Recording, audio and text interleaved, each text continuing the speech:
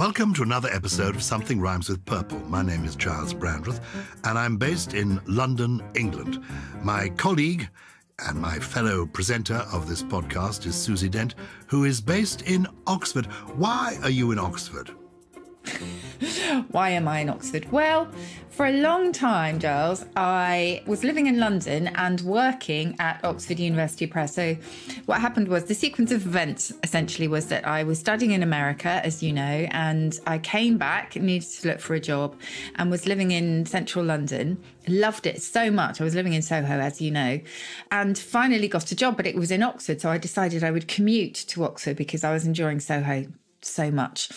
And did that for quite a long time but inevitably the travel kind of got to me. So i moved to oxford and i was still working at oxford university press whilst appearing from time to time on countdown. I was one of very many people who you know sat in the corner where where i sit today.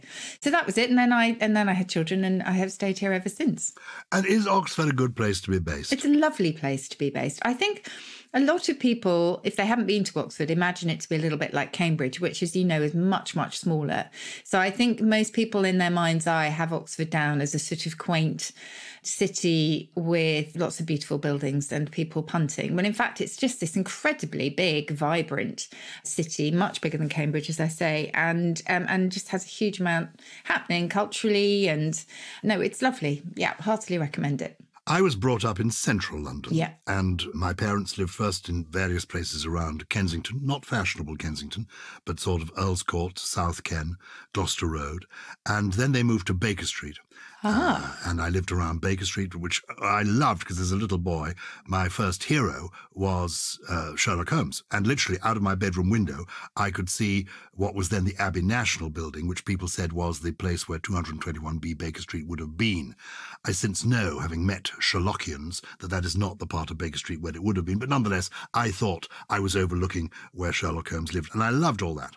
And then when my wife and I decided to move out of central London, our first flat was in Muswell Hill, but then we moved to another flat in Baker Street, and we moved, we, well, we moved south of the river to where I live now, Barnes in southwest London, I, I just couldn't cope. I thought, I, I, don't want people to know that I've moved south of the river.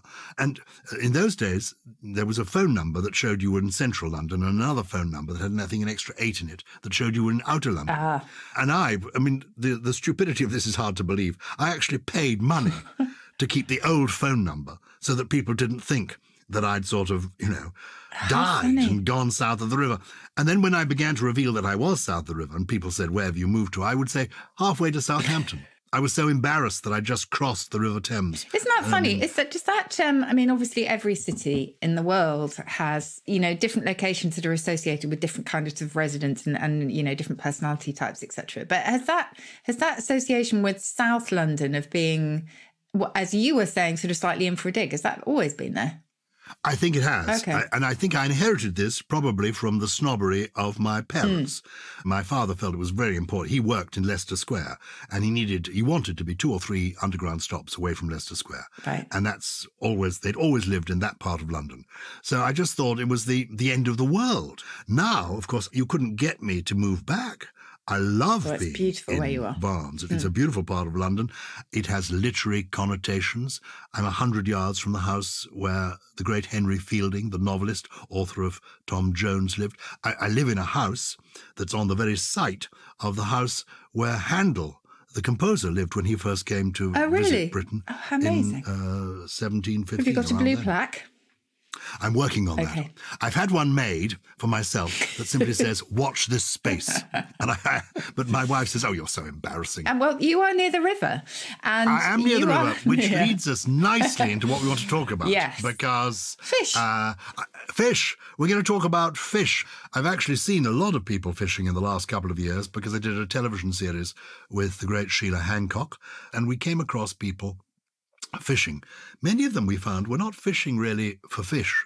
They were fishing for pleasure. They were fishing for the companionship of the, the fellow fisher people, and just Mm. and the solitude as the- well sometimes. Yes, just enjoying sitting on the the riverbank. Have you? Bang a bonking, remember? That's the word for that.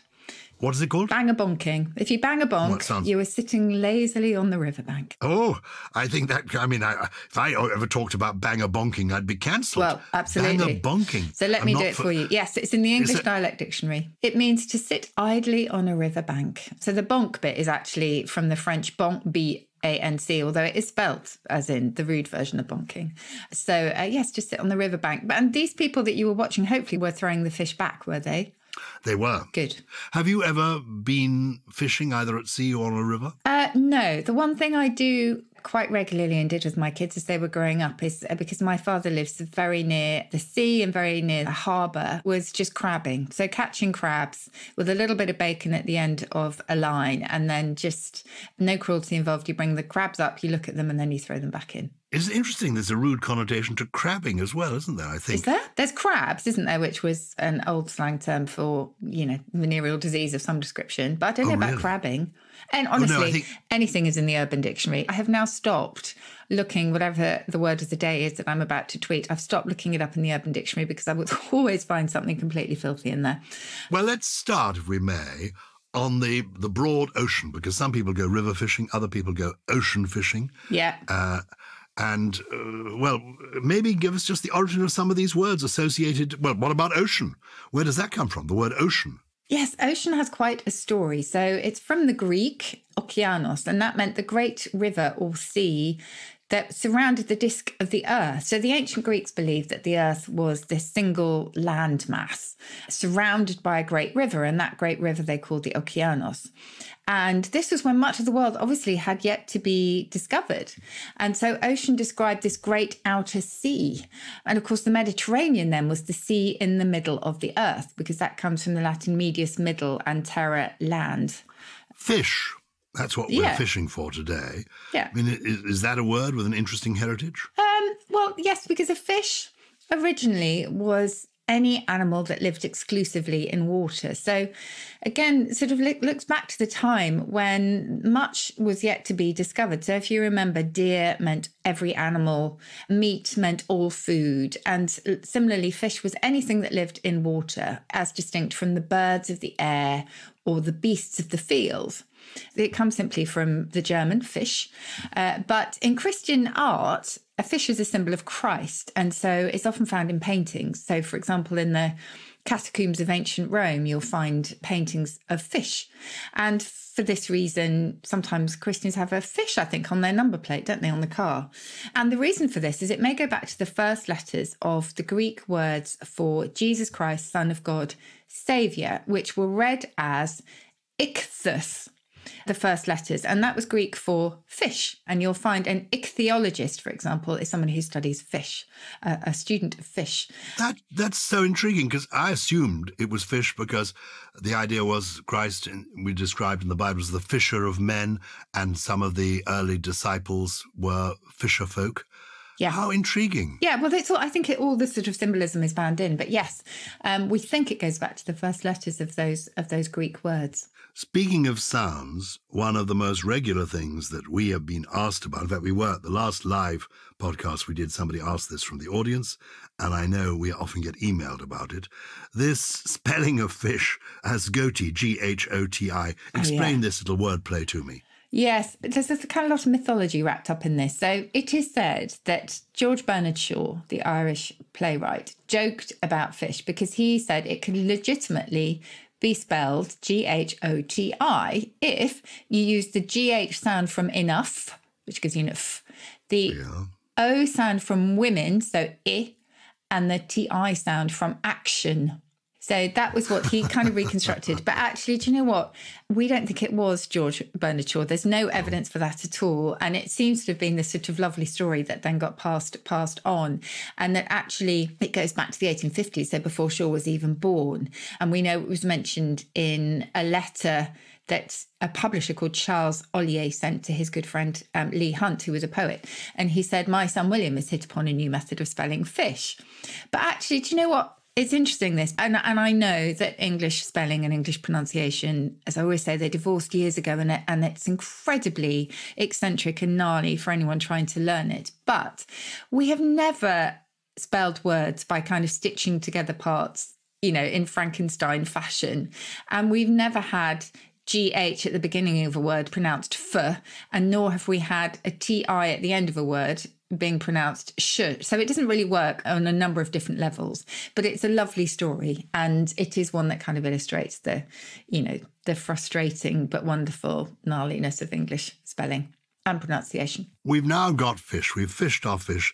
Do you have a favourite fish? Well, I used to say salmon, and I know you can have wild salmon, and there's this whole question about sustainability because I have a friend actually whose daughter is heavily involved in research on the lives of salmon, and you know what? It's absolutely awful.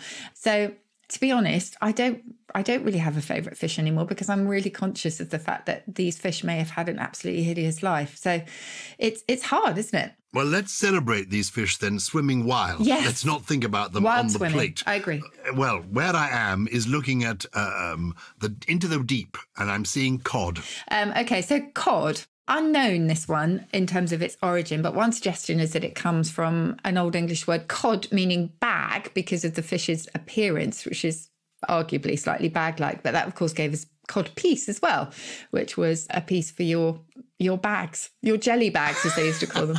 How interesting! My goodness, this is who knew that fish were This going to take us in these we're- now we're- I mean, we come innocently to talk about fish, and we end up with with crabs, and now cod in your cod piece. Yeah. So the cod piece, the cod is a bag as Yes. opposed to.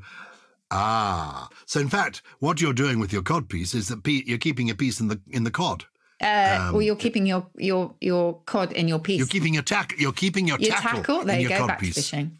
Yes. Yeah, Yes. good. Why is something that's phony called, you know, uh, a Oh, cod? yes. It's it's not real. It's it's a cod thing. Yeah, we don't know the answer to that one. The jury is out, but I do wonder this is just a personal theory, but whether it has anything to do with Cod's wallop. And if you remember Cod's wallop, Cod's wallop, meaning rubbish, possibly goes back to a man called Hiram Codd, who invented these glass stoppered bottles that we still use today um, for fizzy drinks. It kept the bubbles in, and wallop was a slang term for weak beer and by extension, any kind of soft drink.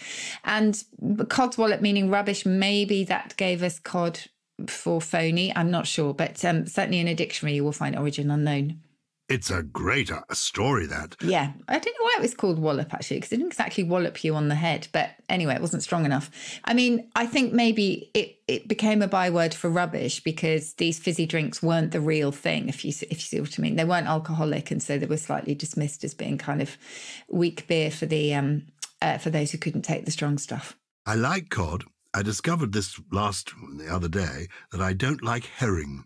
Ah. I, I took part in a, a program called Saturday Kitchen Live, and there was a lovely chef who I do know because I met him before called Nathan, and he created this fabulous dish involving herring, which was complicated to fillet, and he served it up, and I, I, I wasn't. Ah, I didn't No? feel I could say it. It wasn't to my taste. Were these like roll mops? Were they kind of pickled? They weren't. He actually Okay. he cooked them in a dish. He said herring is a wonderful fish. You can cook it in all sorts of ways. You can Yeah. do a variety of things with it. You can have it raw and have it cooked. He cooked it, and uh, everyone else thought it was very tasty.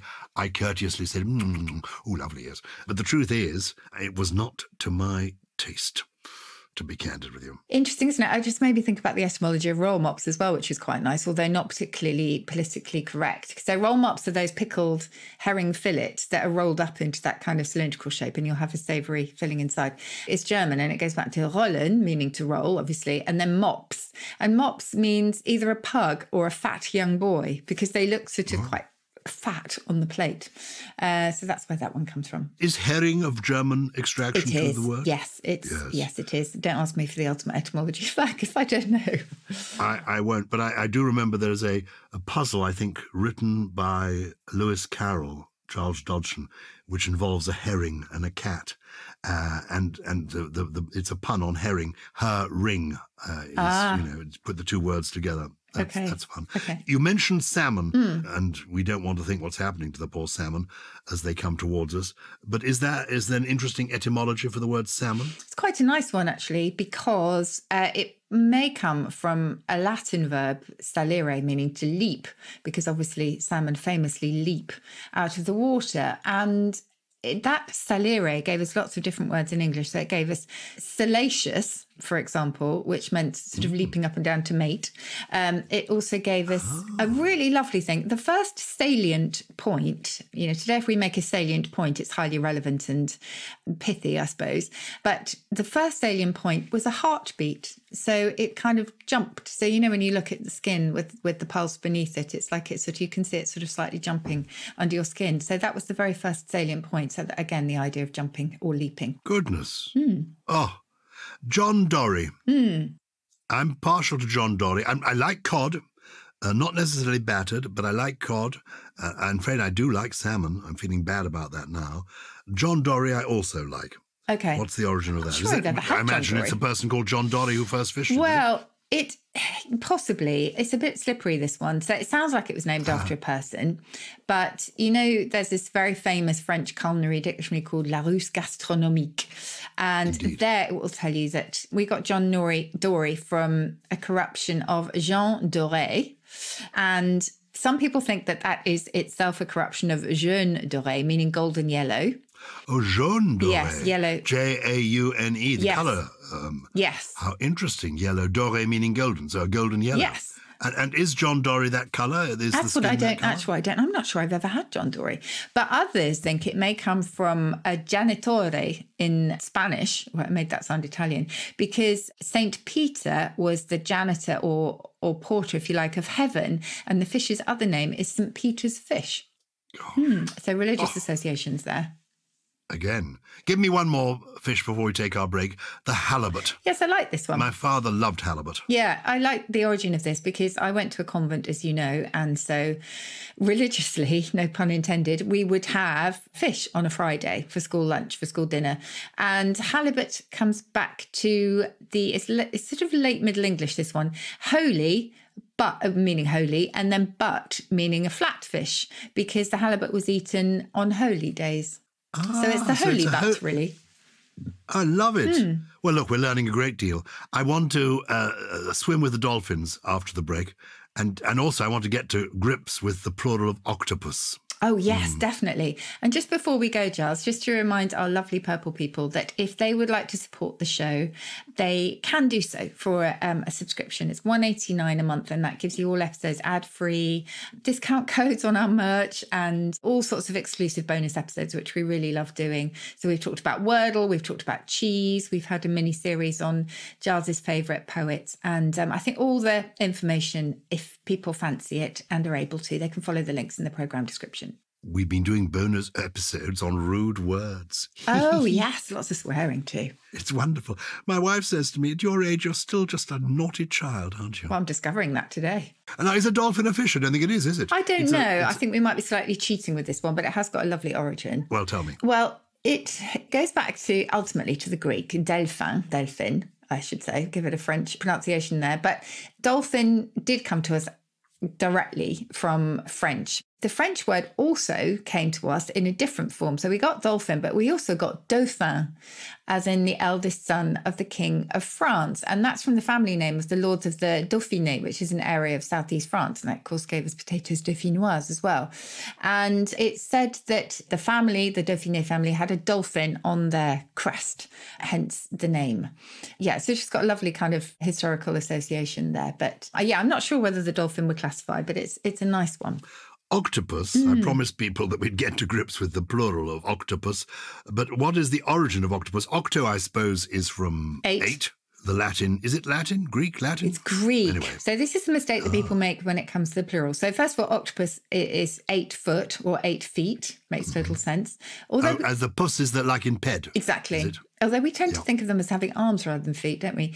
But anyway, that's where it comes from. And the plural, because people think it's Latin, they tend to say octopus, singular, octopi, plural. But actually, because it's Greek, strictly speaking, it should be octopus, singular, octopodes. Uh, but no one ever uses that. So the dictionary usually gives octopuses. It sounds a bit pretentious, doesn't it? But that's that's Yeah. the, the correct plural. Well, I'm ridiculous. When I go to a restaurant, they offer me scampi. I think I say, "Oh no, I'll just have one scampus." is, is that the? And you that for one correct? panino, I'm sure. is that what? Do you know? I'm not. sh- I'm genuinely not sure about scampi. I'm going to look it up here. Um, I'm sure it's not one scampus, but I love the thought of it. Uh, so scampi treated as singular or plural. Oh, it just tells us it comes from Italian. I'm going to look that one up. Scampi and chips. Gosh, I haven't had that for ages.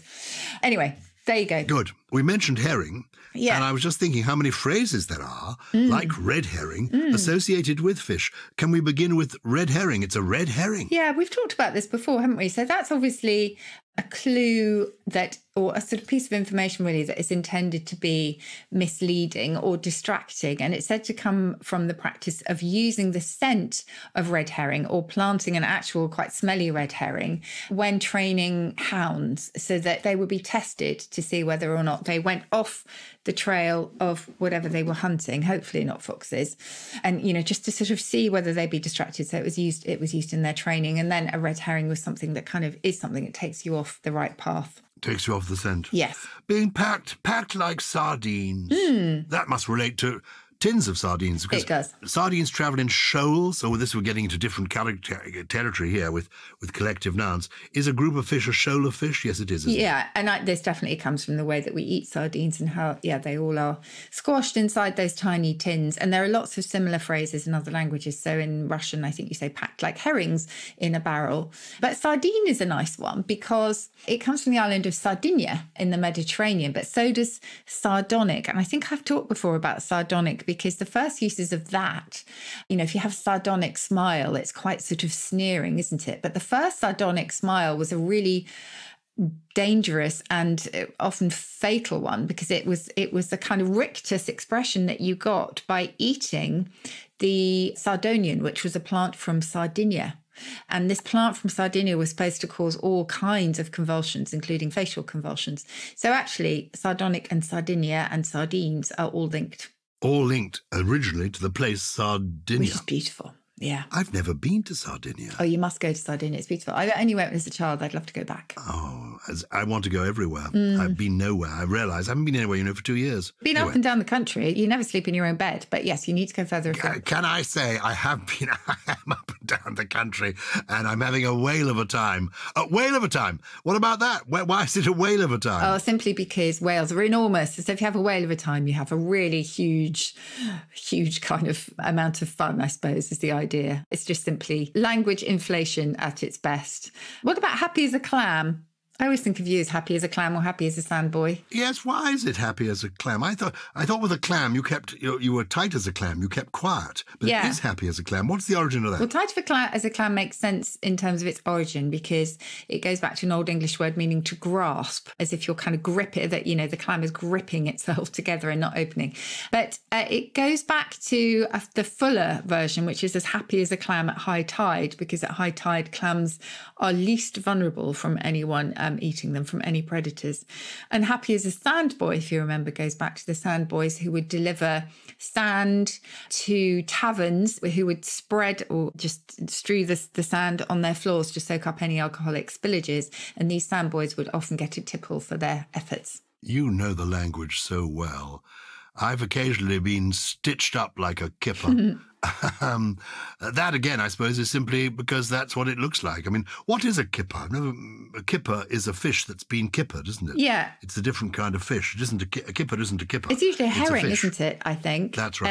Is it? Yes, it's a kipper. A kipper fish, usually a herring. Although kipper is also sometimes applied to a, a male salmon in the spawning Oh. season. But yeah, various theories really as to why you are stitched up like a kipper. One is it's kind of playing on the word gutted because when you kipper a, a herring, you basically you're gutting it. And then in the 1960s, there was a really you might remember this. I don't know. There was a really wide tie called the kipper. Uh, Oh, yeah, of course. Said to be introduced by the British fashion designer Michael Fish, and Kipper was then a pun on his surname, is the idea. So if you are stitched up or done up like a Kipper, the idea is that you were wearing a very smart tie. But yeah, we're not completely sure. And Kipper itself might go back to a route that also gave us copper because of the colour.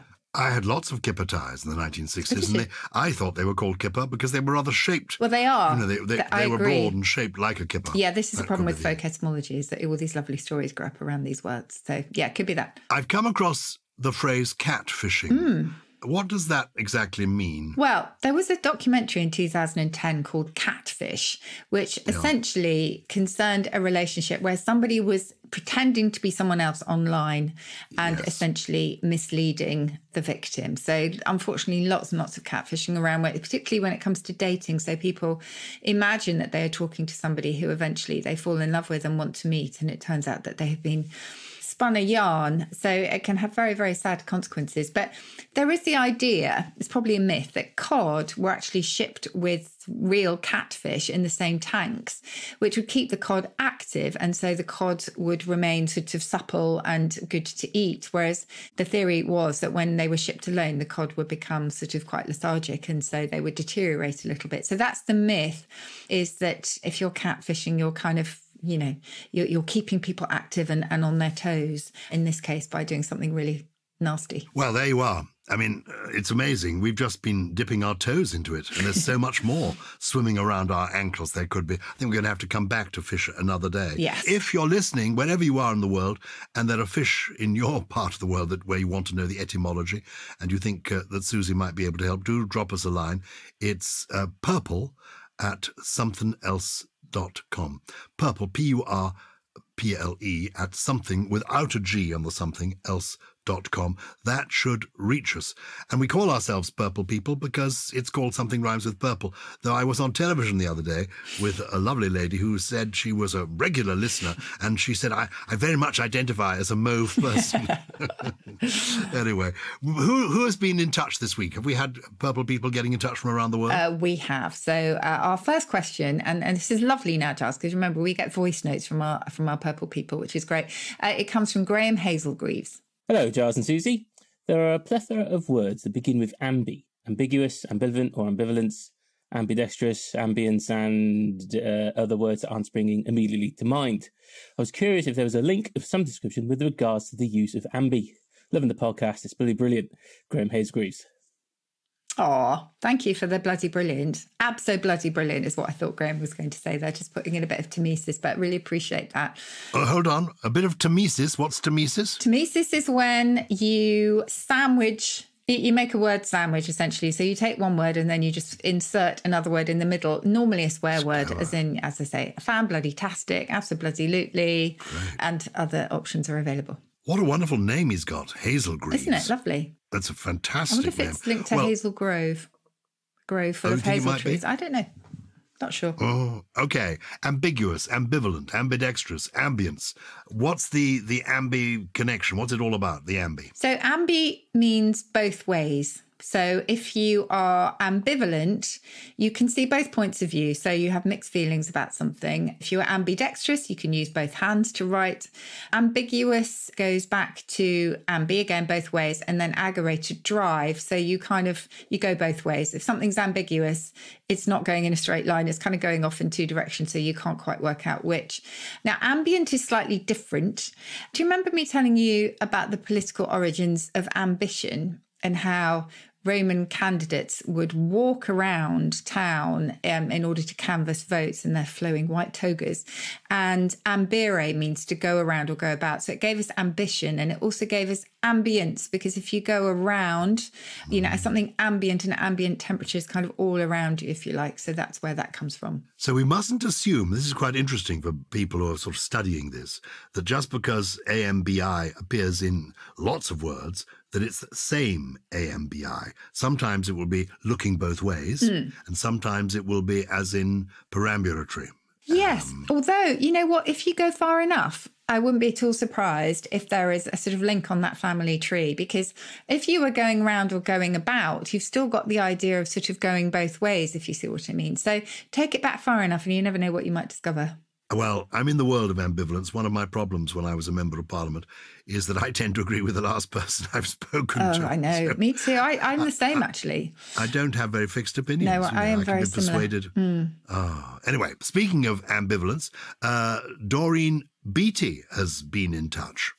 Hi, Susie and Gyles. I'm stumped and hope you can help me out. A few weeks ago, my son was telling me about a movie he and his wife went to see. I asked him if he liked it, and he said, not really. Later in the conversation, I said something about him disliking the movie, and he said he didn't dislike it, he just didn't like it. I was confused until I realized, duh, it is in fact possible to neither like nor dislike a thing. That, however, led to the big confusion. What word can be used to say you neither like nor dislike something? I can think of phrases such as being ambivalent towards something, but so far I haven't come up with one single word. Well, unless you include the modern meh, which I'm not convinced is an actual word. It has now become a family discussion and we've got nothing. So, what say you, Susie? Is there a single word to say you neither like nor dislike something? Thank you both for all the hours of entertainment and education you provide. Dorian Beatty Pennsylvania, USA. Oh, Oh, wonderful. Well done, Dorian. What a great name. Beatty is a good name, too. it is. Well, what what is the word? Is it neutral? I'm neutral on that. I don't know. What would you say? Yeah, it could be. I well, I'm going to offer you a word that I have mentioned in one of the trios from the past, I think, and that is remember this one, frobly mobbly. I do remember the So word. frobly mobbly is kind of 18th century equivalent of meh, which we've you know was mentioned there. So it was described by Francis Grose when he collected his local and provincial words, uh, and this is is as I say in the 18th century as meaning kind of indifferent or indifferently well. In other words, neither one thing nor the other. So I would recommend that we start to say, well, I'm a bit frobly mobbly on that one, and I like I'd love that. Dorian to start using that one, particularly in the US. I'm a bit frobly mobbly. It's spelled F R O B B L Y. Just one B, uh, one B on oh. one B in each. Frobly mobbly. Frobly mobbly. And may, M E H. Yeah. I think it probably is in the dictionary now. It is. But I think it has a slightly negative connotation. I don't think it's, I didn't feel one way or the other. Uh, It's, I'm, Yeah. I didn't feel one way or the other, but, I, mm, but I'm erring on the side of, no, didn't mean much, didn't work really for me. I agree. It's, you- it now means a bit of a lack of enthusiasm or interest. Yeah. Um, so, uh, but originally, uh, it kind of meant unexceptional. So that's where you get the idea of neither one thing nor the other. It's kind of, meh, you know. We never feel frobly mobbly about the people who write to us. We always are feeling enthusiastic and Yeah. grateful. So thank you, both of you, for this week's messages. And uh, please feel free to keep them coming. It's, you know, simply purple at somethingelse.com. You mentioned your trio. What three words have you got to introduce us to this week? Okay, so I'm going to start with uh, a word that was spelled slightly differently at the time. One was a contriver, which I think most of us would kind of recognize, and the other was a controver. But either way, I think it's quite a useful word for today because it's somebody who invents false gossip. Now, I couldn't possibly say that this is what some media do, but a controver or a contriver, somebody who makes up a stories and then a story and spreads it far and wide. Oh, We all know one of those, good. I don't we? like that. Yes. Uh, so my second one, it just took my fancy really only in that if you are lucky enough to have dinner cooked for you one day, you can soss onto the sofa, which is to fall down with a sigh or to just flop into a soft and easy chair and say, I have been amply bedinnered. So bedinnered means served dinner. I just like it because no one's talked about bedinnering someone these days, but I just think it's quite cute I like that very much. it. And the third one is uh, it's just quite interesting. It's got quite a specific meaning, obsolete now. Gain cope. To gain cope was to catch up with or intercept somebody by taking a shortcut. So imagine if you were trying to avoid somebody coming towards you and so you take a slightly different route, but that person anticipates it and actually takes a shortcut and gets to you first. They are gain coping you. I just quite like the fact that that word exists. I like them very much. All three of them. Oh, good. What about your poem for today? Oh, how I crave for fish and chips, a fine cuisine of world renown. I dined on such a subtle dish when Q.E. too received her crown. Oh, how I need some fish and chips. I'll queue in pouring rain or snow. What better way to warm my hands as soggy chips make fingers glow? We Brits are famed for culinary finesse, like steak and kidney pud no less, wondrous tripe, cottage pie, bangers and egg in lard to fry. But fish and chips, the crowning glory, a dish to trounce the great kebab. You think I care for chicken masala? It's cod and chips that grow my flab. Oh, how I yearn for fish and chips, all poshly wrapped in the Daily Star, then caked and drowned in salt and vinegar, and stinking out my brand new car. it's by Mark that by? Slaughter, and he wrote it a few years ago, and it just makes me laugh. Oh, I haven't had fish and chips for ages. It makes me also wonder whether you've ever tried a battered Mars bar. Do you know, I was in Glasgow once, And uh, somebody said, You've not been to Glasgow till you've had a battered Mars bar. And we went out and we had one. And what's even worse is it was so tasty, I asked for a second. I have to try one. I'm, I'm hoping you didn't, like one famed politician, ask for some guacamole instead of mushy peas. I know. It, it, he denies it. It's said of Peter Mandelson, and he absolutely denies Yeah. it. Well, it's the sort of thing, oh, honestly, it's the sort of thing anyone could do, to be it, fair. It, it, it is. And actually, I tell you what I feel about fish and chips. I love the idea of fish and chips. And almost immediately I've had them, I slightly regret it. I know exactly what you mean. Well, we will leave it there, but we really look forward to hearing about your fish stories if you have got any. So do, as Gyles says, please get in touch, purple at somethingelse.com. And if you have enjoyed us today, we would absolutely love it if you could leave us a review or recommend us to friends. Something Rhymes with Purple is, of course, a Something Else production. It was produced by Lawrence Bassett and Harriet Wales. Wales Oh, that's and. Harriet Wells, with additional production from Steve Ackerman, Jen Mystery, Jay Beale, and oh, what fish would he be? Well, I believe he's not here today because he's out trying on a new codpiece. Course, that's Gully.